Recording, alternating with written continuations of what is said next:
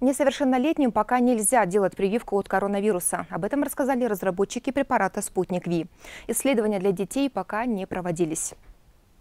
То есть исследования, когда посмотрены все отдаленные, не более-менее отдаленные, неотдаленные последствия применения вакцины. Пока эти клинические исследования, естественно, не реализованы, говорить о возможности применения вакцины у детей абсолютно нельзя. Тем временем в Якутии количество заболевших резко возросло. Минимальное число инфицированных выявили 13 апреля – 28 случаев. Максимальное число зафиксировали 16 апреля – 49 заболевших.